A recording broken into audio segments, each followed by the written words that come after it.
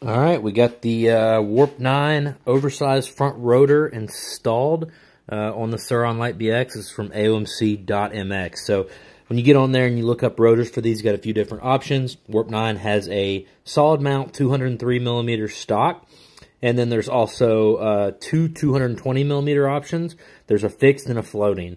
Uh, this is the floating. If you're not familiar with the benefits of a floating, uh, basically where the rotor is connected right here, this piece of the rotor can be aluminum or something. So you save quite a bit of weight. Any weight you can save around your wheel area is huge. Um, and then also it's less prone to warp as well. So we went with the 220 millimeter floating. That's S-FR220F. You can type that in AOMC's search bar and it'll come up. But you also need the adapter on the back.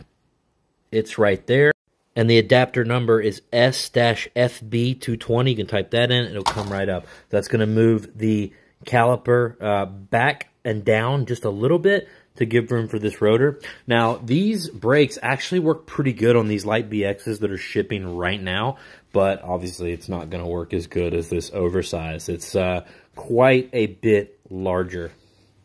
Oh, and also, to get to AOMC.MX, just click the link in my link tree.